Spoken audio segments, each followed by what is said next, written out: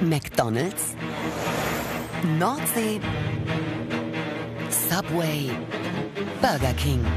Die vier großen Fastfood-Ketten ringen um die Vorherrschaft im Land. Aber nur einer kann Deutschlands Bester werden. Nelson Müller serviert Burger und Co. als eigene Kreation.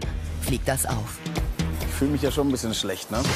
Die Tricks der Schnellrestaurants. Günstige Zutaten, teuer verkauft.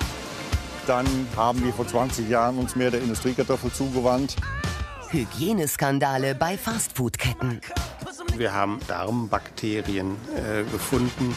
McDonald's, Nordsee, Subway, Burger King. Welches Essen macht dick? Also ich habe in der Woche circa zwei Kilo zugenommen. Der große Vierkampf ums schnelle Essen. Welche Fastfood-Kette ist die beste? Und ich würde sagen, das finden wir jetzt heraus. McDonald's ist nach Umsatz und Größe der Branchenprimus in Deutschland. Doch Burger King, Subway und der deutsche Fischbrater Nordsee machen mächtig Druck.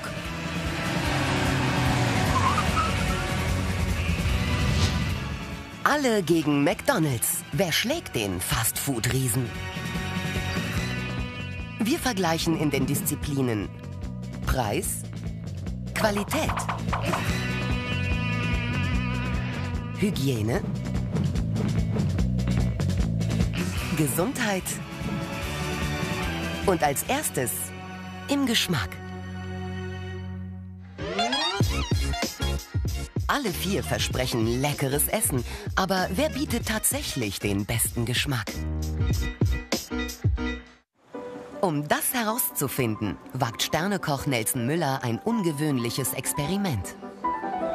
Ist das Fastfood der vier Konkurrenten so gut, dass es auch als Restaurantgericht durchgeht? Tatort sein eigenes Bistro.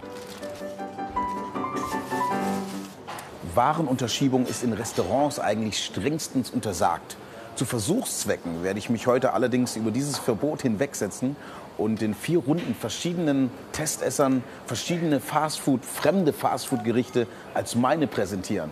Mal schauen, ob das auffliegt. Nelson hat Gäste eingeladen. Der Vorwand? Es gibt neu entworfene Gerichte zu verkosten. Als erstes will Nelson den Clubhouse Burger von McDonald's servieren. Wird der Schwindel auffliegen?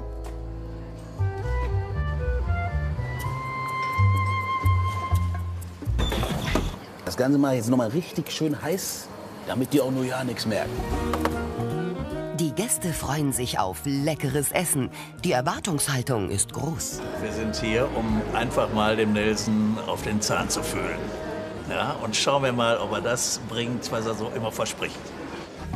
Mal sehen, ob der McDonald's Burger den Ansprüchen genügt. Hübsch dekoriert, aufgewärmt, Stäbchen rein, fertig. Jetzt wird sich zeigen, ob der Fastfood Burger als Kreation eines Sternekochs durchgeht. Lasst es euch einfach schmecken, meine neue Burger-Kreation. Ich bin gespannt, was ihr sagt. Viel Vergnügen. Riecht auch ganz gut. Ne? Das ist also äh, schon mal ein kleines Erlebnis. Und schauen wir mal, ob es auch so bleibt. Optisch kann er schon einmal überzeugen, aber geschmacklich? Ich fühle mich ja schon ein bisschen schlecht, ne? Aber scheint denen ja zu schmecken. Köstlich. Angenehm gewürzt. Das Fleisch hat auch einen guten Geschmack, finde ich. Ne? Ich mag sonst keine Burger, aber Edelburger mag ich. Wie ist das Urteil der Gäste? Von 10 Punkten 9. Da bedarf es Aufklärung. Eurem Urteil nach sollte ich das jetzt auf die Karte nehmen eigentlich, ne? Wenn ich den jetzt auf die Karte nehme, würde ich eigentlich mit beiden Beinen im Knast stehen. Der Burger ist der Bacon Clubhouse Burger von McDonald's gewesen. Unglaublich. Bin ich aber auch sowas von überrascht. Keiner hat's gemerkt. Aber ich habe es eigentlich nicht geglaubt. Ich habe es mit Vergnügen gegessen. Sensationell. Test bestanden. McDonald's hat sein Geschmacksversprechen gehalten. Als nächstes kommt der Steakhouse Burger von Burger King an die Reihe. Auch hier gönnt Nelson dem Ganzen lediglich ein bisschen Deko. Etwas Kresse, ein paar Tomaten. Fertig. like the legend of the phoenix. Optisch kann sich das ja einigermaßen sehen lassen. Ich bin gespannt, wie der jetzt ankommt. Werden die Tester den Klassiker von Burger King enttarnen? Nelson hat den Burger nur gekauft, aufgewärmt und etwas verschönert. Eine Geschmacksrichtung, ja, die durchaus bekannt ist, aber eben mal ganz anders präsentiert, als man es gewohnt ist. Ganz toll. Sehr lecker. Sehr saftig. Schmeckt hervorragend. Also so eine Art Burger habe ich noch nie gegessen, muss ich sagen. Zeit für die Wahrheit. Was ich euch serviert habe, war tatsächlich ein, ein Burger von Burger King. Aber die Pommes waren von hier. Nee. Auch nicht. Unglaublich. Faszinierend, ne? Ja, doch. Ja. Ja, gut, ich sag mal, Auge ist mit, ne? Auch Burger King hat den Test mit Bravour bestanden. Zweimal sind meine Fastfood-Gerichte wirklich äh, glatt durchmarschiert. Die Gäste haben nichts gemerkt, im Gegenteil, sie waren voll des Lobes. Ich bin mal gespannt, ob es bei den anderen Gerichten genauso ist. Jetzt ist Nordsee an der Reihe mit dem Garnelen-Ciabatta Caprese. Wieder gibt's ein wenig Deko zur Tarnung. Ob das hier reicht? Bin gespannt auf euer Urteil gleich. Ne? Ja, guten Appetit, die da. Echt gut. Das Brot ist sehr gut. Gut gewürzt. Ich bin nie auf die Idee gekommen, das so zu kombinieren. Also jetzt Meeresfrüchte auf dem äh, Baguette zu essen. Das sieht ja auch aus wie ein Gemälde. Kommt super an, ist aber leider kein Meisterwerk des Sternekochs. Äh, der Feinkost nennt sich ähm, Nordsee. Glaubt ihr mir nicht, ne? Also überrascht auf jeden Fall, aber ähm, es hat halt einfach gut geschmeckt. Lob auch für das Krabbenbaguette von Nordsee. Fehlt nur noch das Truthahn-Sandwich von Subway.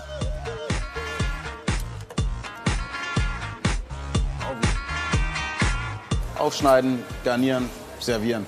Prima. Habt ihr nichts mehr zu tun, ne, Jungs? Die nächsten Testesser sind besonders kritisch. Ein frisch verheiratetes Ehepaar auf der Suche nach der Extraportion Geschmack. Also wenn es schmeckt, kommen wir zum Hochzeitstag hin. Da liegt die Latte aber hoch. Danke sehr. Ja, viel Vergnügen mit meiner neuen Kreation. Das sieht auf jeden Fall sehr lecker aus. Schmeckt sehr gut. Ich war ein bisschen überrascht, dass das äh, warm ist. Aber passt super. Ich finde es sehr lecker. Und wieder haben die Gäste nichts gemerkt. Haha, nichts verändert. Nichts verändert. Das Einzige, was ich gemacht habe, ein bisschen Kresse, ein bisschen Ja. Kirschtomaten. Hätte ich nicht gedacht. Auch Subway hat den Geschmackstest bestanden. Ich bin ehrlich gesagt ziemlich überrascht, dass alle Fastfood-Gerichte ähm, ja, als meine Gerichte durchgegangen sind. Und äh, ein bisschen kratzt es auch an der Kochehre. Da stellt man sich den ganzen Tag in die Küche und dann baut man halt so einen Burger um und die Gäste sind trotzdem glücklich. In unserem Experiment konnten alle vier Konkurrenten punkten. Kein Gericht ist als Fastfood aufgeflogen. Dementsprechend eindeutig fällt unser Urteil aus. Alle vier Fastfood-Ketten konnten geschmacklich überzeugen. Schick angerichtet gingen sie sogar als Restaurantessen durch. Das hat mich dann schon erstaunt. Geschmacklich liegen alle gleich auf. In jeder unserer Testkategorien vergeben wir maximal drei Punkte. In Sachen Geschmack haben alle gleichermaßen überzeugt. Deshalb bekommen sie die volle Punktzahl. Drei Punkte. Noch herrscht Gleichstand im Rennen um die Fastfood-Krone.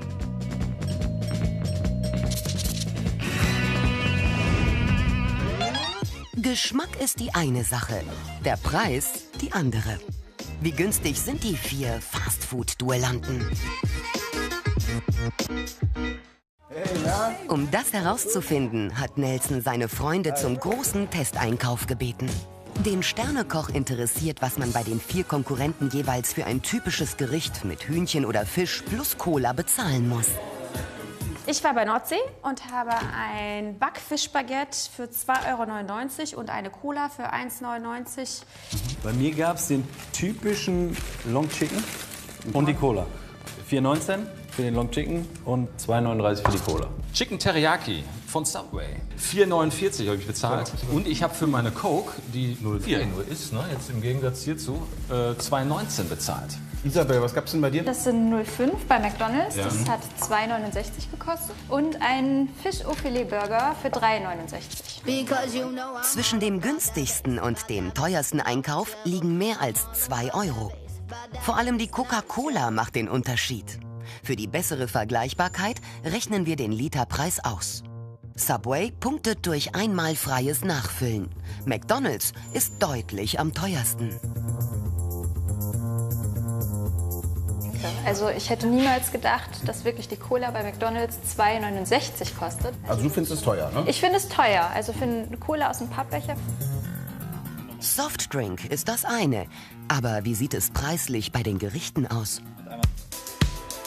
Auf den ersten Blick sind die Angebote der vier Konkurrenten nicht so einfach zu vergleichen. Um herauszufinden, wo man das meiste für sein Geld bekommt, hat sich Nelson deshalb vier Köche zur Verstärkung eingeladen.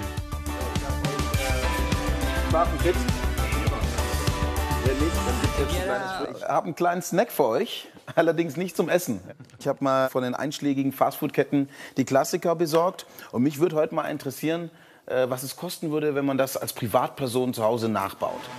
So will Nelson herausfinden, wo man das meiste Essen für sein Geld bekommt. Die Topseller treten an. Der Big Mac von McDonald's. Das Bremer Brötchen von Nordsee. Das Chicken Sandwich von Subway und der Whopper vom Burger King. Als erstes müssen die Köche genau ermitteln, was drin steckt. Wo ist denn das Huhn? Vergessen? Da haben wir es doch. Ah, da oben. Das ist aber echt ganz schön wenig. Da musst du wirklich suchen, um es zu finden, ne? Die Köche zerlegen und wiegen die Einzelteile. Das ist doch. 10 Gramm genau. Hier ist halt nur Ketchup, Röstzwiebeln, ein Blatt Salat da drauf und das war's halt dann schon. Nur so können sie die Produkte später centgenau bewerten. Eins, zwei Tomaten. Zwei Tomaten, schön. Wahnsinn. Ein Salatblatt. Ein Salatblatt. Was auch seine besten Tage hinter sich hat. Ja. Relativ wenig Komponenten auf dem Burger. So ein bisschen Gurke, ein bisschen Salat, ein bisschen Mayo. 35 Gramm. Jetzt wissen sie, was drin ist. Nächste Aufgabe: Nachmachen.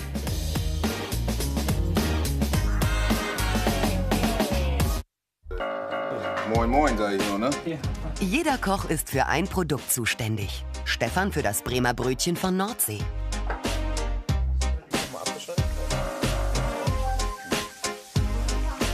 So, dann würde ich sagen, komm, baut eure Burger jetzt komplett zusammen, sonst wird's kalt. Beim Zusammenbauen wird auch zusammengerechnet. 16 Cent kostet das Brötchen für den Nachbau des Nordsee-Klassikers. Dazu kommen 2 Cent für den Salat, 48 Cent für die Fischboulette, ein Klecks Ketchup für 3 Cent. Und zu guter Letzt Röstzwiebeln für weitere 2 Cent.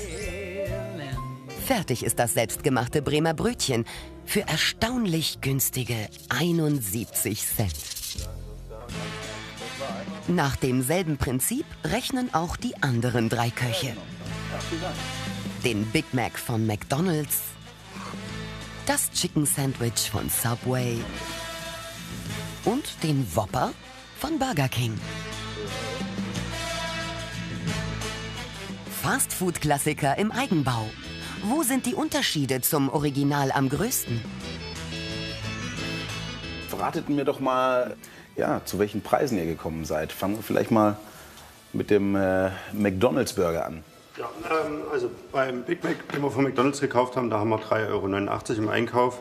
Das, was ich jetzt runtergerechnet habe mit den ganzen Rezeptoren, bin ich jetzt auf 1,63 Euro gekommen. Okay. Ja. Das ist etwa die Hälfte des Verkaufspreises. Wie sieht das bei den Konkurrenten aus? Wie verhält es sich vom Preis bei Burger King? Hier ist der Preis beim Burger King Produkt 4,19 Euro und im eigenen 1,35 Euro. Das ist Oha. natürlich noch ein größerer Unterschied. Oha, das ist ein deutlicher Unterschied. Und beim Bremer Brötchen von Nordsee? Also das Brötchen kostet bei der Nordsee 1,99 Euro. Und äh, unser selbstgemachtes Brötchen, da liegen wir bei 71 Cent. Ui. Kann das noch getoppt werden vom Sub? Das kann es. Ne? Mein Sub kostet 6,95 Euro im Einkauf bei Subway und ich habe 1,17 Euro jetzt ausgegeben für meins. Ja. Also das ist schon eine ordentliche Hausnummer. Sehr erstaunlich. Vor allem, wenn man bedenkt, dass es ja eigentlich doch wirklich ganz gut aussieht. Die Unterschiede sind enorm. Bei McDonald's ist der Big Mac etwas mehr als doppelt so teuer wie der selbstgemachte. Bei Nordsee ist es etwa dreimal so viel. Das Sandwich von Subway hat den mit Abstand größten Preisunterschied. Es ist fast sechsmal so teuer.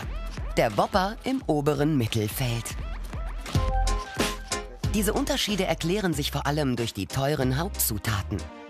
Die Fleischpatties beim Big Mac bringen zusammen 90 Gramm auf die Waage. Beim Whopper von Burger King kommen 113 Gramm Fleisch auf das Brötchen. Im Chicken Sandwich von Subway landen dagegen gerade mal 52 Gramm Hähnchenbrust. Und in Nordsees Bremer Brötchen sogar nur 50 Gramm Fisch. McDonald's und Burger King bieten bei ihren beliebtesten Burgern ein ordentliches Preis-Leistungs-Verhältnis. Sparen Sie dafür vielleicht bei den Pommes? Wie günstig die Rohstoffe dafür sind, wollen wir bei einem der größten Produzenten für Fastfood-Pommes herausfinden. An der holländischen Grenze in Kevelaar baut Andreas Driesen Kartoffeln für Burger King an. Aber hier wachsen keine normalen Speisekartoffeln. Das würden die Böden gar nicht hergeben. Der Verbraucher für Speisekartoffel erwartet goldgelbe, helle Kartoffel. Und diese Möglichkeit haben wir nicht bei uns auf den Böden, auf den Standort zu produzieren. Und dann haben wir vor 20 Jahren uns mehr der Industriekartoffel zugewandt.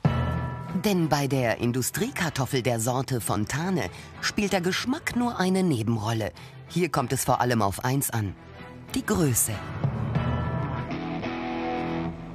Eine dicke Kartoffel gibt möglichst viele lange Stäbchen und das heißt für die Fabrik oder für die verarbeitende Industrie eine hohe Wertschöpfung. Heißt, bei so einer Kartoffel muss man in der Pommesproduktion wenig wegschmeißen. Das spart Geld. Und das gleich doppelt, denn die Industriekartoffel ist viel billiger als normale Kartoffeln, weil sie im Supermarkt kaum Abnehmer finden würde. Für 100 Kilo bekommt Bauer Driesen gerade einmal zwischen 9 und 12 Euro. Das ist ein Drittel weniger als für Speisekartoffeln.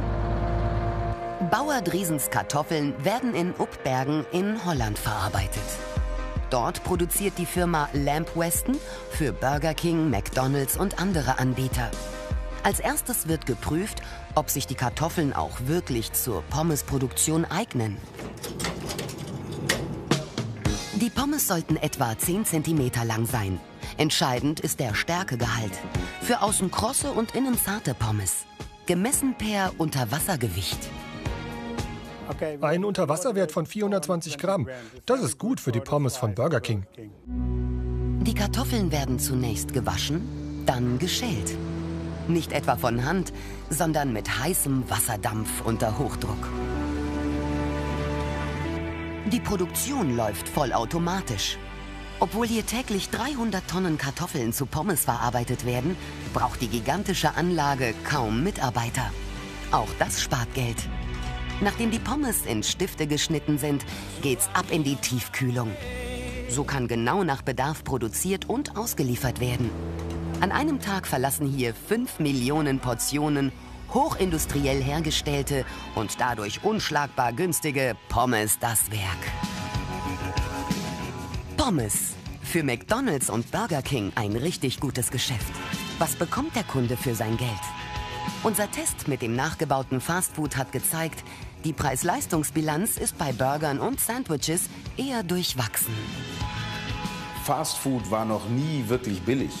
Das bewahrheitet sich auch hier. Die Sandwiches von Subway sind allerdings viel zu teuer. Sie sparen extrem an den entscheidenden Zutaten. Am meisten bekommt man noch bei McDonald's oder Nordsee für sein Geld.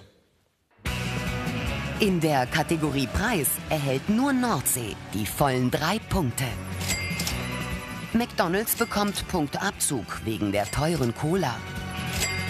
Subway und Burger King können da nicht mithalten. Damit übernimmt Nordsee die Führung in unserem Wettbewerb der Fastfood-Giganten.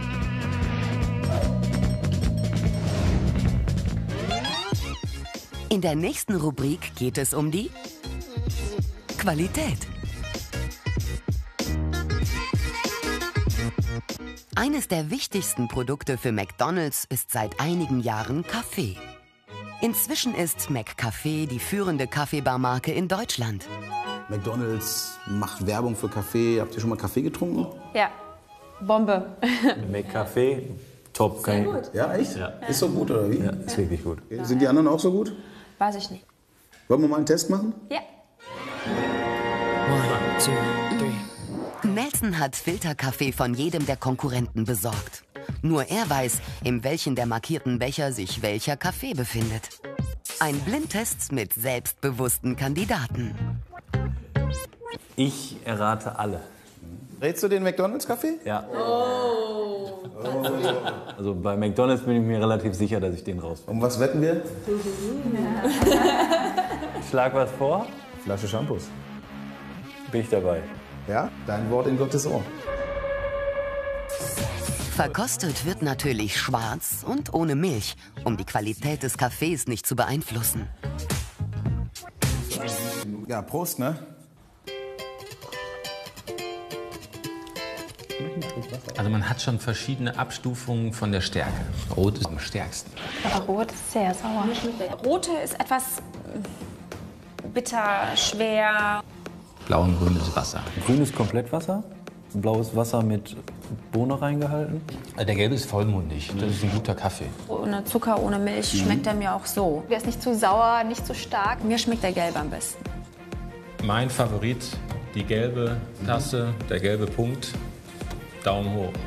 Ein klares Urteil. Doch welcher Kaffee ist von welchem Anbieter? Gelb ist auf jeden Fall der beste Kaffee, den würde ich auf McDonalds tippen. Bist du doch total sicher, oder? Ja, ich bin mir sicher. Der ist von McDonald's. Yes! Der gelbe? Ja, sicher.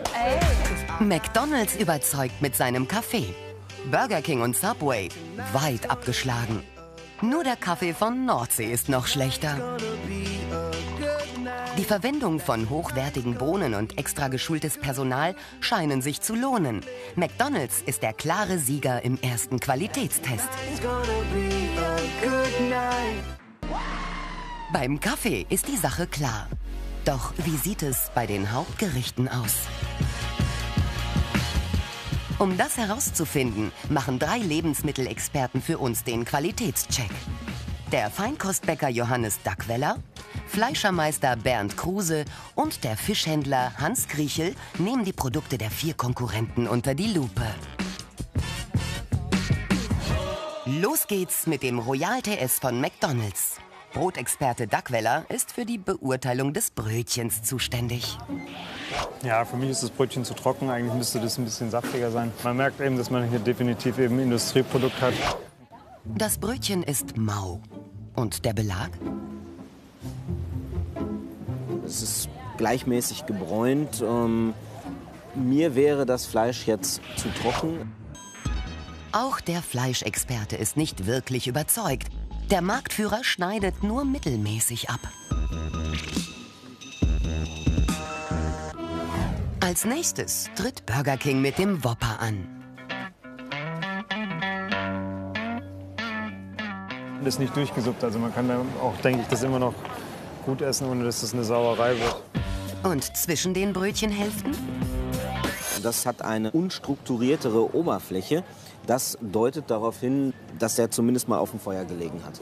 Er macht einen, durchweg auf mich einen besseren Eindruck. Insgesamt eine ordentliche Vorstellung für den Whopper. Weiter geht's mit Kandidat Nummer 3, dem Lachsbagel von Nordsee. Der Bagel selber ist auf jeden Fall schön kompakt. Fachlich alles richtig gemacht. Also ist ein schöner, guter Bagel. Hör mal. Und was kann der Belag? So gehört sich das, du. Man sieht sehr wohl, dass es also frisches Lachsfilet ist. Das Produkt eigentlich gelungen. Absolut gelungen. Der Lachsbagel hat die Jury voll und ganz überzeugt. Als letztes wird von Subway das Philly Beef Vollkorn Sandwich einem kritischen Expertentest unterzogen. Ich kann es nicht so recht äh, definieren. Das ist in irgendeiner Form geschnetzelt worden, aber es ist halt einfach dann zusammengeklebt worden, zusammengepappt worden. Das Fleisch geht gar nicht. Also es geht gar nicht. Formsteak bei Subway. Kann das Brötchen noch was retten? Hier soll natürlich mit den Körnern eben suggeriert werden, dass sich das wahrscheinlich um Vollkornprodukt handelt, was eben auch gesund sein soll. Für ein richtiges Vollkornbrötchen ist das viel zu locker. Ja? Das ist im Prinzip ein helles Brötchen, was eben mit ein bisschen Kleie versetzt ist. Also man sieht hier auch schon die Stippen, die von der Kleie stammen. Ja. Subway betont in einer Stellungnahme, dass das Brötchen den Leitsätzen für Vollkornprodukte entspricht. Der Experte aber ist von der Qualität nicht überzeugt. Das Ergebnis des Qualitätstests. Der Lachsbagel von Nordsee hat sehr gut abgeschnitten. Burger King liegt hier auf dem zweiten Platz. Das Fleisch hat den Experten überzeugt. Der dritte Platz geht an den Royal TS von McDonald's. Er ist beim Brötchen und Belag nur Durchschnitt. Subway ist durchgefallen. Kein Punkt. Teil 2 des Qualitätstests geht an Nordsee. Auf den Plätzen folgen Burger King, McDonald's und zuletzt Subway. Beim Thema Qualität testen wir nicht nur die Produkte, sondern auch den Service. Und da ist gerade in einem Fastfood-Restaurant für uns die Wartezeit entscheidend. Deshalb machen wir den Test und besuchen verschiedene McDonalds-Filialen 25 Mal in der Mittagszeit. Und messen dabei jedes Mal, wie lange es vom Anstehen an der Schlange bis zum Erhalt des Gerichts dauert. Dann wird zusammengezählt. Im Durchschnitt warten wir bei McDonald's 6 Minuten 28 Sekunden auf unser Essen. Wir wiederholen den Test bei den drei Herausforderern. Natürlich zu denselben Bedingungen.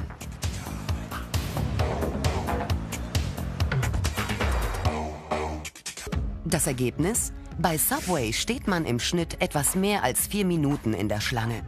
Bei Nordsee wartet man nur 2 Minuten 38 Sekunden. Doch am schnellsten ist Burger King. Unsere Stichprobe deckt sich weitgehend mit den Ergebnissen einer deutschlandweiten Studie. Die Gründe? Bei Subway wird jedes Sandwich frisch belegt und das braucht Zeit. Bei Nordsee dagegen muss nichts mehr zubereitet werden. Die Fastfood-Produkte kommen hier nur noch in die Tüte und fertig. Bei Burger King wird man vor allem so schnell bedient, weil dort im Vergleich weniger los ist. Bei McDonald's wird die Beliebtheit zum Problem. Jeden Tag besuchen rund 2000 Gäste eine durchschnittliche Filiale. Trotz langer Schlangen waren in unserem Test häufig nicht alle Kassen geöffnet. McDonald's muss aufpassen. Lange Wartezeiten sind nicht das, was der Kunde erwartet, gerade in einem Fastfood-Restaurant. Und die Konkurrenz holt auch bei den Produkten auf. McDonald's liegt nur beim Kaffee deutlich vorne. Bei der Qualität hat Burger King mit einem guten Burger und kurzen Wartezeiten knapp die Nase vorn. Nordsee bekommt immerhin noch zwei Punkte für den überzeugenden Bagel. McDonald's rettet sich nur dank des guten Kaffees auf den dritten Platz. Damit bleibt Nordsee in Führung und Burger King springt auf Platz 2. Weiter geht der Vierkampf in der Disziplin Hygiene.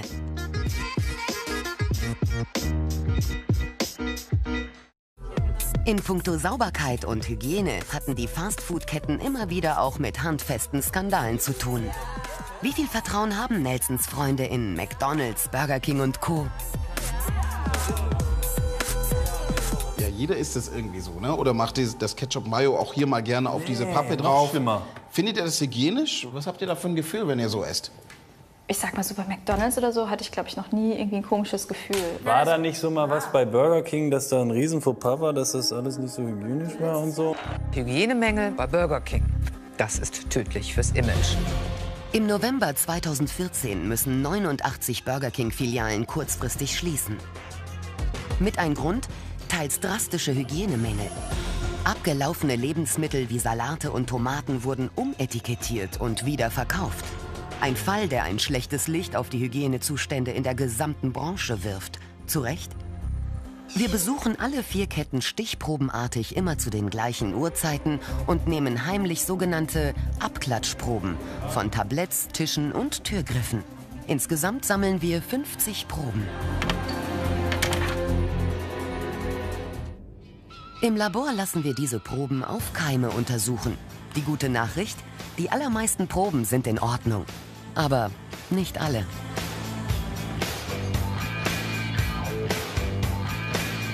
Ja, die einzige Probe, die hier nicht befriedigend war, war ein Tablett bei der Firma Subway. Wir haben Enterobacteriaceen, das heißt also Darmbakterien, äh, gefunden. Auch wenn diese Darmbakterien nicht notwendigerweise gesundheitsgefährdend sind, ist der Fund doch ein eindeutiges Zeichen dafür, dass das Tablett verschmutzt war. Ein Indiz für mangelnde Hygiene. Nur ein Einzelfall? Erst im letzten Jahr schlagen Mitarbeiter mehrerer Subway-Filialen in Bayern Alarm. Michaela Eich war eine von ihnen. Ein Vorwurf, Lebensmittel wurden umetikettiert. Die Haltbarkeitsdaten sowohl bei den Lebensmitteln als auch bei den Soßen, vor allem bei den Soßen, wurden regelmäßig verlängert. Es wurde also nicht ausgetauscht, sondern einfach per Hand verlängert. Die Ex-Angestellte von Subway sucht nach Erklärungen. Der Franchise-Nehmer hatte meines Erachtens einfach zu wenig Einnahmen. Schlecht laufende Filialen, kein unbekanntes Problem bei Subway. Fastfood-Ketten sichern ihren Lizenznehmern üblicherweise zu, dass es keine weiteren Filialen in der Nähe gibt. Nicht so bei Subway. Hier konnte jeder, der die erforderliche Einstiegssumme zahlte, eine Subway-Filiale eröffnen. Und das, wo er wollte. Dem war das egal, ob um die Ecke schon ein Subway war. Ähm, er hat halt da eine Lizenz neu verkauft, hat Geld äh, eingenommen und sagte, gut, das wirtschaftliche Risiko, ob das hier gut geht, das hast du als Unternehmer und nicht wir. Wir haben kein Risiko. Darunter litten in den vergangenen Jahren viele der Franchise-Nehmer. In einer Stellungnahme schreibt Subway, dass bei der Standortwahl mittlerweile, Zitat, alle Standorte von neuen Restaurants überprüft würden. Die Hygiene habe bei Subway oberste Priorität. Der betreffende Franchise-Nehmer habe die vorgegebenen Standards nicht erfüllt. Deshalb sei ein Lizenzentzugsverfahren gegen ihn eingeleitet worden. Das Restaurant habe mittlerweile einen anderen Inhaber. Von vergleichbaren Schlagzeilen sind die drei anderen Fastfood-Ketten in den letzten zwei Jahren verschont geblieben. Hygiene ist ein sensibles Thema. Auf nichts anderes reagieren Verbraucher so empfindlich. In unserer Stichprobe haben wir bei McDonald's, Burger King und Nordsee nichts Belastendes gefunden. Alle bekommen die vollen drei Punkte. Subway dagegen geht wegen dem keimbelasteten Tablett in dieser Runde leer aus. Damit bleibt Nordsee unverändert an der Spitze. Gefolgt von Burger King und McDonald's.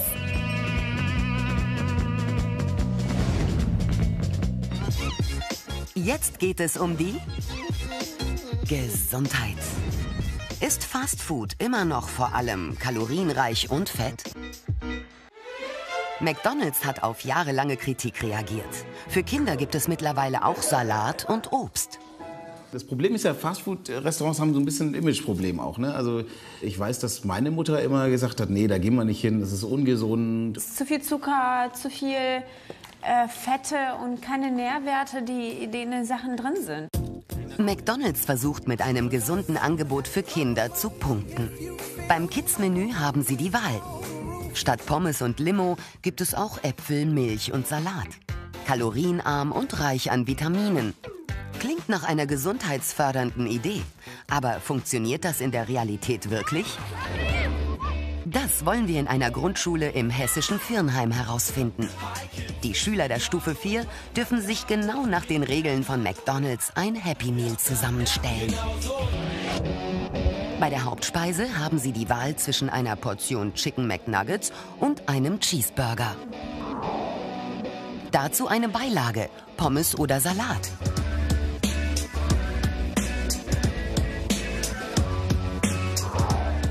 Und zum Dessert Fruchtquatsch, ein Püree aus Äpfeln, Bananen und Kirsche oder Apfelschnitzchen. Und auch bei den Getränken können die Grundschüler wählen. Apfelschorle, Wasser, Milch, Orangensaft oder Capri-Sonne.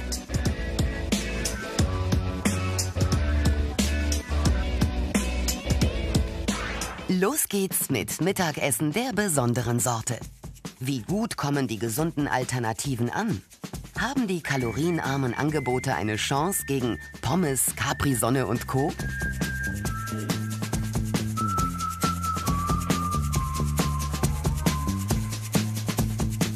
Ich habe Nuggets, dann Pommes, ähm, Fruchtquatsch und Capri-Sonne, weil das halt, das, das liebe ich einfach. Pommes habe ich mir genommen, weil sie lecker schmecken. Chicken McNuggets finde ich auch sehr lecker. Dann habe ich mir den Cheeseburger genommen, weil es den bei uns auch nicht alle Tage gibt. Chicken Nuggets oder Cheeseburger. Die beiden Hauptspeisen liegen kalorienmäßig dicht beieinander. Die Beilage macht den Unterschied. Da gibt es einen eindeutigen Verlierer. Den Salat.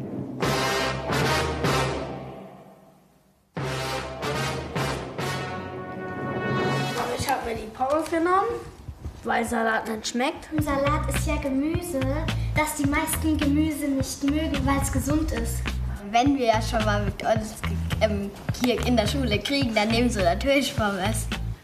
Die Kinder haben sich für die ungesunden Fastfood-Klassiker entschieden. Die kalorienarmen, ungesüßten Lebensmittel wurden wenig bis gar nicht angerührt. Bei den Getränken gibt es einen eindeutigen Favoriten. Capri-Sonne wählten 11 von 15 Kindern. Ziemlich eindeutig auch die Hauptspeise. Vier entschieden sich für Burger, elf für Nuggets. Als Beilage wurde Pommes 15 Mal und Salat kein Mal gewählt. Die Verbraucherschützerin Silke Schwartau wundert das Ergebnis aus dem Klassenraum nicht.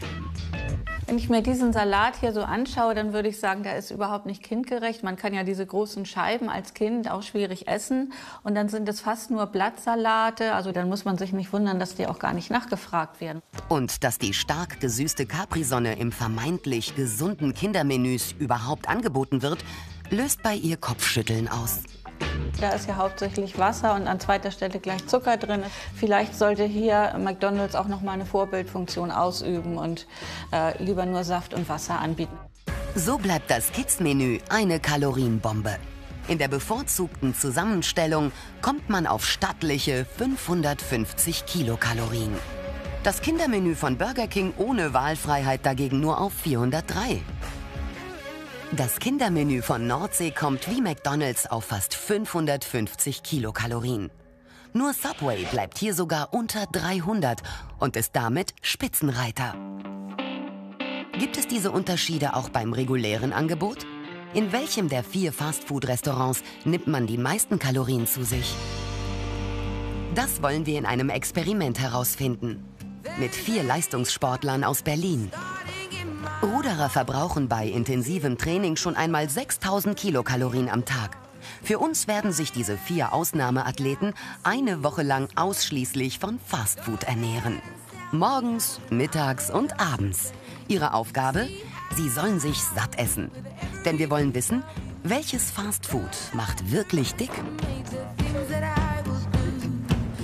Jeder der vier bekommt eine Restaurantkette zugelost.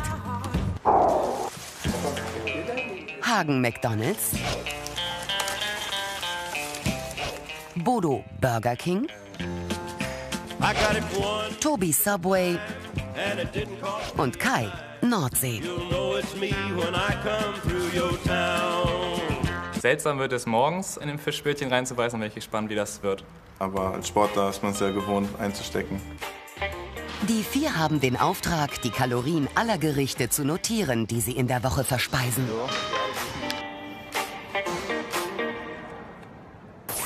So, liebe Zuschauerinnen und Zuschauer, Jetzt geht es los.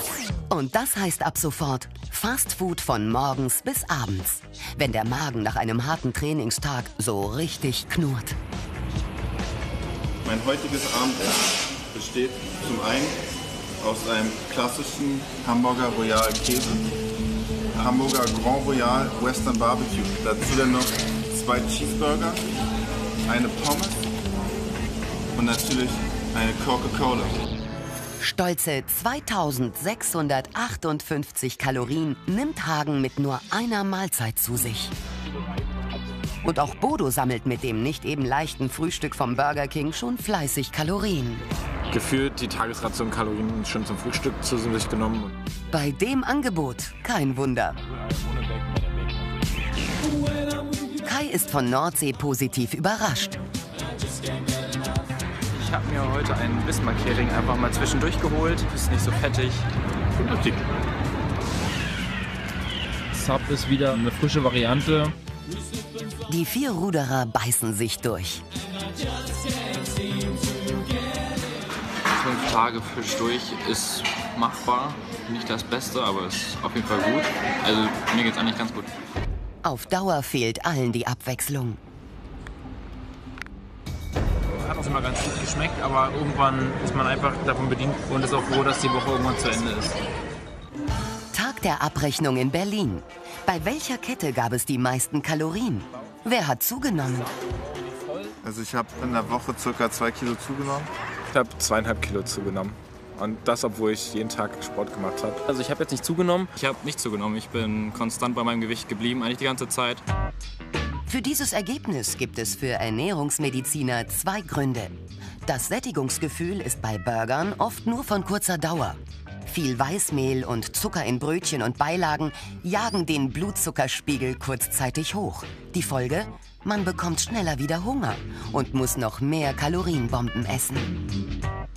Und zweitens, um satt zu werden, braucht man ein gewisses Gewicht an Nahrung, egal was man isst. Und da handelt man sich bei den meisten Gerichten von Nordsee und Subway weniger Kalorien pro 100 Gramm ein, als bei denen von Burger King und McDonald's.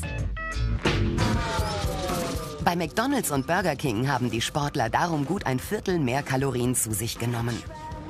Im Gegensatz dazu sind Subway und Nordsee die gesündere Alternative.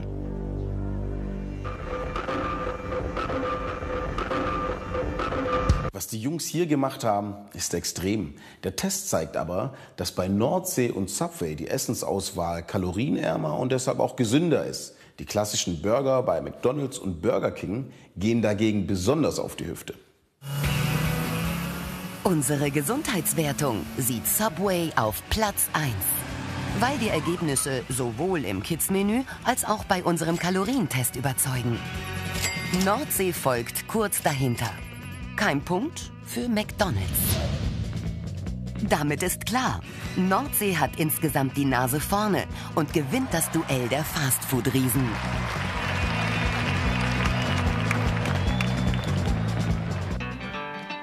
Alle gegen McDonald's. Nordsee hat den Vierkampf deutlich für sich entschieden. Gute kalorienarme Produkte zum kleinen Preis bei schnellem Service. Das bringt in unserem Test den Punktsieg für den deutschen Fischbrater.